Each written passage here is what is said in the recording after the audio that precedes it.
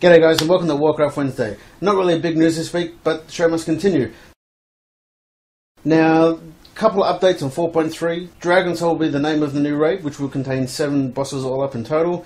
There will be a mount reward for killing Deathwing, and he will also only drop weapons. The new five-mans that are coming out, End Time, Well of Eternity, and Hour of Twilight, are in sequence of lore and uh, will give us a bit of a description on how this all come to place, because it looks like we're going back in time, back in time, forward in time, back in time.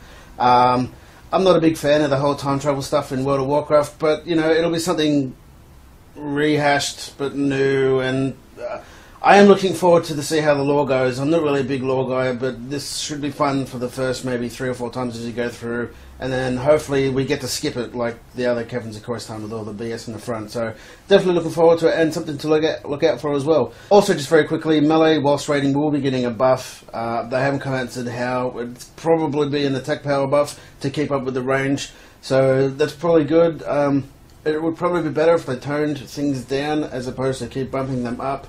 Um, but that's just my opinion. Let me know what you think. Uh, the much controversial rogue legendaries. Now, uh, last week's video, I probably should have worded it better, uh, as in it's the only rogue specific legendaries that they've got. Uh, I, I, appreciate all the comments, both good and bad. Uh, it, it, does mean a lot to me. So we now know that the, the legendary weapons are going to be a pair, much like the well discussed warglaives in last week's video. So um, again, let me know if you think this is a good good idea or a bad idea. Uh, is it a good good idea that rogues are getting a legendary, uh, and is it even better idea that they're going to get uh, now two? Now, um, I'm not really sure how how I feel. I don't have a rogue, but um, I think they're pretty much on par. Like if you look at some of the DPS parses and stuff like that, they seem to be pretty on par. And I'm not really sure if they're going to need such a big weapon to be able to do even more damage. And I don't know. Let me know what you think. When patch 4.3 does hit, we now know that the look for raid system will have a easier degree than uh, the normal N heroics, but the item levels will also be lower as well. That's just to quickly rehash up on that. I also think when patch 4.3 hits, uh, now this is just me sort of having an educated guess that the uh, the cross realm PvP will also start up again, and I haven't seen anything on that to actually confirm it. That's just me having a guess. So that's definitely something to look out for. And considering that I play on two different servers, both Caelestrasz and Darkspeed, being being able to PvP with my friends as well as doing some five mans um, on either server would be fantastic. So I'm really looking forward to this feature, and I think it's a very good step forward with what Blizzard are doing. EXP has been lowered uh, in Northrend by two thirds, so that'll let you get through that area a little bit quicker. You jewelcrafters out there, uh, a little bit unlucky there if you've been hoarding ore to be able to try and prospect it into get uh, epic gems. Uh, Blizzard have released news that uh, your epic gems are now going to be dropping from inside the instance now. Whether you have to mine something in there or they're going to come from a boss or just random drops. They haven't said or I haven't noticed. Um, knowing Blizzard, they'll probably nerf that and let some of the, some of the ore be able to uh, prospect into into epic gems. So um, unlucky.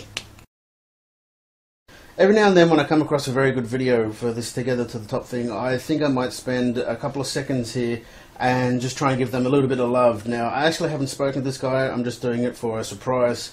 Now, he's actually one of the guys that up on Swifty's banner, on his on Swifty's main channel, uh, Invisible Zero Tom. Now, he's put up a, a, a rather nice video, another relaxing video uh, of a Minecraft server where he's got like this nice water effect going along. Now, he didn't program it, he's just using the mod.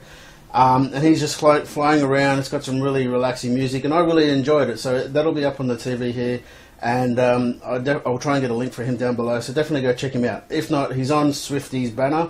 Uh, so just go through the, that banner until you see that. If you want to get selected for Swifty's banner, go to his main channel, and you'll see there's an email there that you can submit a video to. Now make sure you format it in a very clear, understanding way with the link already there, already hyperlinked, so it's very easy for the guys to come and see so they can remember you rather easy.